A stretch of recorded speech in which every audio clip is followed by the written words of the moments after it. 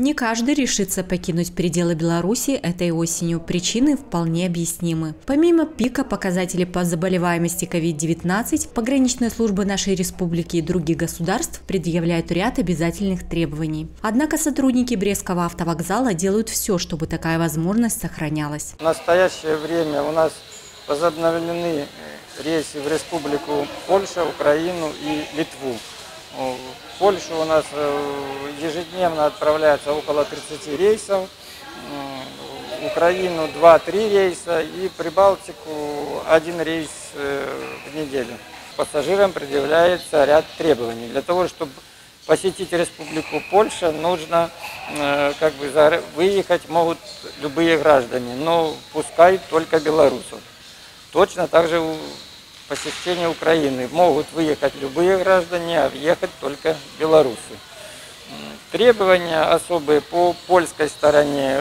Студентов пропускают по студенческим билетам, э, рабочих, которые там работают по приглашениям в Украину по медицинским страховкам и, естественно, при въезде в Республику Беларусь это карантин 10 суток. Также для осуществления поездки на территорию другого государства необходимо обладать и убедиться в наличии действительных документов, гарантирующих законное, безопасное исследование и пребывание за границей. Одним из требований ряда государств является наличие обязательной отметки с отрицательным результатом теста на коронавирусную инфекцию. При выезде из-за границу э, в настоящее время большинство стран требуют наличия справки об отсутствии коронавирусной инфекции, так называемое ПЦР-обследование. На территории Брестской области это обследование проводится в нашем областном центре генэпидемиологии вирусологической лаборатории и в Баранческом зональном центре генэпидемиологии.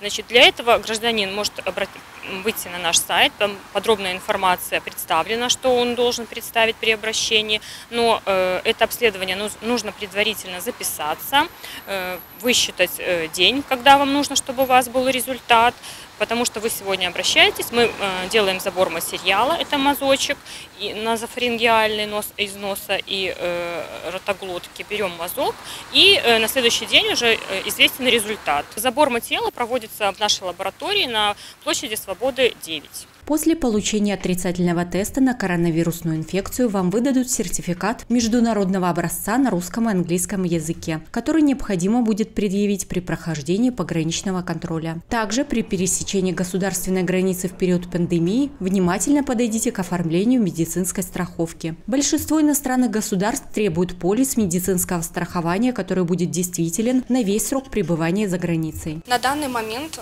консульство запрашивает такое требование, что в страховых полисах обязательным условием является скорая неотложная помощь COVID-19 если вдруг человек заразится за границей. А, в наших страховых полисах как раз-таки этот пункт прописывается.